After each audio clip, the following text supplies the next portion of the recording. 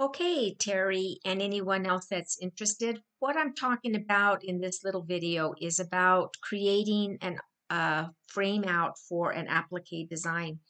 So what a frame out is, is whenever we're working with machine embroidery appliques, we can program our hoop or the frame, which is what it's sometimes called, to move forward or sideways or various things so that we can perform various functions on our applique project. Those functions would include uh, placing our fabric down or our applique piece if it's a pre-cut piece, maybe trimming the fabric or that kind of thing. Uh, without having to take the ho entire hoop off of the machine, we can just try to finagle it so that we can keep the hoop on the machine as we're doing that trimming or placing, etc. So that's what a frame out position is all about. In our Hatch digitizing program under the applique section. Um, it's always good when you're going to create some appliques, when you're using this automatic function, that you would come in here and you would look at some of the properties uh, that you are going to be able to adjust when you're creating your appliques. So this isn't really a video about making appliques. It's really more going to be about uh, how to change those frame out options should we want to and need to. So you can always see that you're going to have different styles. You can have a pre-cut where you're only going to get that placement line without a lot of extra tack down lines and um, things like that. Or you can do the trim and place, which is the method that I use typically because I don't have a cutting machine to cut my applique pieces. You can choose your tack down style, and I usually prefer a single run. And actually, my single run, I usually turn it into a two times a round run just for some stability. Our cover stitches, you're going to have various choices there. We'll leave it as a blanket stitch. And if you wanted to, you could change the width and the spacing, etc. on those cover stitches. You can also change how the offsets work, and that is, do you want your lines right up on top of each other? That's what we get with the zeros. Or do you want to have them offset a little bit? You've got those um, adjustments you can make as well. Now, I read a little bit about the frame out function in the manual. And I didn't really quite understand how one was going to be different than the other. And the reason why I say that is because to me, every time that the machine stops after the color changes or when the color changes, um, I think to me that means the same thing. The only difference that I think might happen to be a change, a difference between the color change and the color stop is that if it's at the color change, maybe that is going to be the frame out will happen uh, right before you start the new color. All right, whereas the color stop will happen when this color ends and before it jumps to the starting point of the new design. Maybe that's when you're going to get your frame out. So it could just be a simple matter of, let's just say, for example, I'm going to be stitching my yellow part, which I'm going to turn into an applique in a minute or two here, that once this yellow has finished stitching, that applique, each section of that applique, if I have it set for the color stop, the frame out will happen immediately after that step is finished. Whereas if I had it set for the color change, maybe that frame out will happen not after the color has ended, but right before the next one starts. This is just me uh, brainstorming about this. I don't really know that what I've just said is actually valid or not. So take it with a grain of salt or experiment with it on your own. Let's say I want to do it at the color stop just for fun, okay? The next thing we'll look at is over in the applique toolbox. Let's look at the frame out options. So mine is set for manual. So what the, I think the default here is going to be automatic. The reason why I don't know right now is because I've had this design open on my screen for a while and I've been experimenting a little bit to make this video. But if you have it set for automatic, the program itself is going to choose where that frame out is going to happen. And I'm not even really certain that it happens at the upper right or the upper left. All I know is that automatic means the program will fix it for you. If you want to do it manually, uh, a couple of different things are going to happen, uh, and you're going to be able to choose where you want that frame out to actually go to. Placing under the cover stitches means that the frame will not move forward at all. It just means that um, it's just going to stay in the same position that it would be in normally, and you would have to take the hoop off of the machine in order to do your trimming and placing, etc. I always do that anyway, so for me, uh, the frame out issue is not such a big deal. But let's just play with the manual for a little while, okay? Let's turn this on. And the next thing I'm going to do is I'm going to turn this into an applique. So this is an EMB design. You cannot do this with a stitch file. It does have to be a native design file. So over in Convert to Applique, once I select this, I'm going to uh, just have you notice that down here in this blue bar at the bottom of the screen, this is our prompt bar. And whenever we're doing various functions in the program, we might get some instructions down in here about what the program wants us to do. So be watching there because I'm not going to be pointing to it as I do this because that just causes the whole uh, design to start jogging and jiggling around on the screen. All right, so let's start. Convert to applique. This is an automatic function, so what it's going to do is it's uh, going to allow me to choose where I want my applique to actually start stitching and stop stitching. Down on the bottom prompt bar, it's telling me to enter an entry point. So I'm working on this moon, and let's just say I want it to enter right here. Now the prompt bar is telling me to enter my exit point, and I'm going to have it exit at the same spot.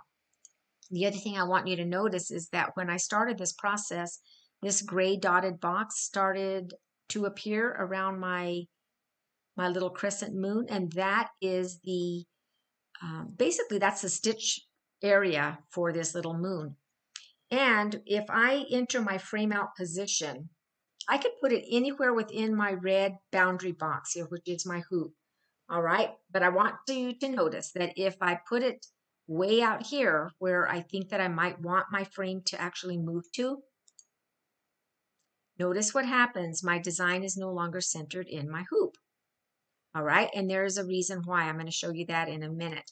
All right, so let's just undo for now. And this time, as I create my applique, I'm going to go through the same process again. My entry point and exit point are going to be somewhere here on this area of the satin line. This time for my frame out, I'm going to keep it within the gray box. My applique has been created, and you're going to see that my design has been, it has stayed centered in my hoop. What is the difference? The difference is what happens up here in our hoop setting. If I right click on hoop, we're going to see that I have my program set so that I am automatically centered. All right, so what that means then is when I placed my frame out to be way up here in the upper right hand corner of my embroidery hoop, that actually creates a stitch, so to speak. And that stitch, along with all these other objects here all got centered in the hoop, and that is because I'm set at the automatic centering. All right, if I had my setting here set to manual, where I could set the hoop setting uh, for the hoop center, uh, that may not actually have happened. So let's do a little change here, okay? For right now, I'm going to select manual and if I check mark this set the hoop center, what I really want to do is I want to really make sure that I'm zoomed in here so that I can see where my hoop center is actually at. So I'm going to set the hoop center. I'll say okay. And I'll zoom in here and there will be my hoop center. I think that's how that's going to work. So let's do this little star. All right, the star is selected. Let's convert it into an applique. Same thing happened here. Okay, everything right now is still centered in my hoop. I'm going to select my entry point. I'm going to do it right here. My exit point right here. This time I'm going to move my frame out position to the upper right hand corner. Let's just see what happens. And I did that. My applique is now created and my design is still centered in my hoop even though I put my frame out way at the upper right. So you see what happened there. Let's just go over it again. Right clicking on the hoop function here because I set manually and I for the hoop center. That's why the design still stayed centered in the hoop when I did that. All right, so let's take a little look now at what actually we have created with these frame outs. I'm going to select the, uh, the moon, first of all, and I'm going to break it apart so that we can see the different sections of the moon. So we've got a placement line, we've got a frame out, we've got a tack down line, we've got a frame out, we've got a zigzag or something here, and another frame out, and then we have our final satin stitch. So let's look at this in slow motion. I'm going to zoom in here and we're going to do a little stitching under the player. Okay, so here we go. I want you to notice when it gets to the point where it goes to that frame out, what it looks like it actually is doing. Are we taking a stitch or is it just simply a fast jog? Look like a fast jog to me. Let's do that again. Here comes the tack down line, fast jog over and back. So I don't see actually that I'm getting an, an actual stitch in there. All right, so let's just go ahead and end this. Um, so when you say that yours is, is actually looking like it's taking a stitch, I don't really have any reference for why that actually happened. I'm going to run one more experiment on this. Let's do a bunch of undos till we get this all back to it being uh, the objects that I first brought in here. Let's go ahead and change our hoop. Let's just check it again. Instead of it being automatic centering, let's again set it for manual and the hoops is centered. Let's say okay. Um, over in our digitize applique toolbar, this time instead of at the color stop, let's set it for the color change and let's just see if we see any difference. Okay? All right. Let's click off of that. Oops. Select an object. Let's convert it to applique. Uh, entry point, again, we're just going to kind of duplicate what I did a while ago. Here's my entry. Here's my exit. This time I'm going to put my uh, frame out position up here at the upper right. Okay, so everything did stay centered in the hoop. What I want to do now is we will run a simulation on this again with the player. Let's watch and see what happens and see if it makes any bit of a difference. I really don't know what to expect since I didn't try this beforehand. Coming to the end. See how it changed the color there? Oh, that was the difference.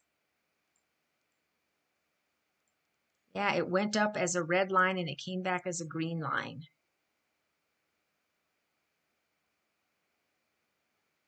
So this was done at color change. Let's just keep looking at this as it continues to stitch out. So the color change happened, and maybe that is the reason why we might have gotten some stitches up there because it was tying in the new color possibly. What do you think about that theory? I don't know. Kind of makes sense to me. Uh, okay. Anyway, the next thing I want to do quickly is go over into the old digitizing program, and mine was version 5 of MBX. And what I did over here is I created my own applique I could have used the applique function, but I decided that what I wanted to experiment with was the old method that Maggie had taught, uh, taught me to do a long time ago.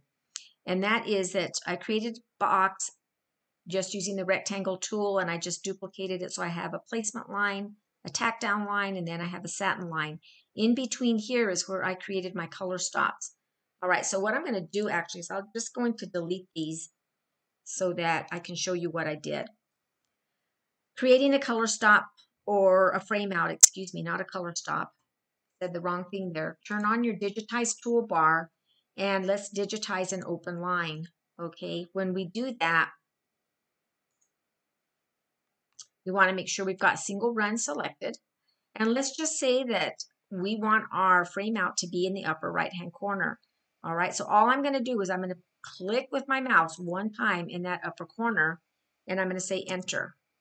So this is it right here. It's the, it's the last thing that was just created. I'm going to turn it into a red color because I want it to be the same color as this part of the color stop. And I'm going to move it up underneath the red. And what I'm going to do with it is I'm going to control D to duplicate it. Let's duplicate it. It's, and I'm going to turn it into black because black was my next color stop here. And I'm going to move it under the black one. All right, and I'm going to show you the difference. What we're going to do now is look at the parameters of this one. This is the first one. And when I look at the stitching on this object, it does have a tie-in and it does have a tie-off. This one here, I'm going to change the tie-in, the tie-off. I'm going to turn them off. Okay, and now what let's do is let's run the player on here and let's just see the difference in what we see in, in the way that this stitches out. Okay, it's going to jog over. Did you see how it made a couple little stitches there? Watch the difference. And if we need to reproduce this, I'll do it again.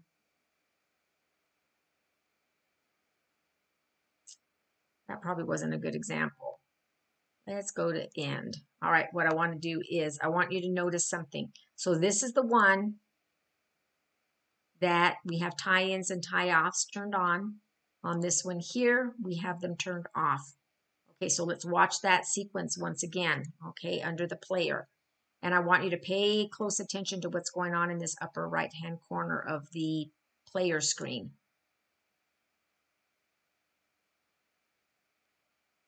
Here we go. Notice the upper right-hand corner.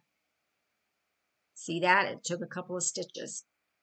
Let's look at this one where we're not supposed to have any tie-ins or tie-offs. Boom, over and back. And not only that, but it has a different little uh, symbol up here, which basically shows that there is a stitch there, but nothing is more is happening than that. So let's go to the end. So anyway, that's a way that you can do a frame out in MBX, um, at least in version 5. I don't know about previous versions. I suppose the same thing could probably happen. Um, and one of the reasons why I'm showing you here in MBX is because under the Applique tool, we don't have that same ability um, under creating our appliques here to do anything about frame outs. All right, that seems to be a function that's unique to Hatch 2. And anyway, so that's one thing you're going to want to do is if you do use that manual function, um, and maybe even I don't know, you know, just depending on what other kinds of applique projects or digitizing projects, you might want to change this manual setting.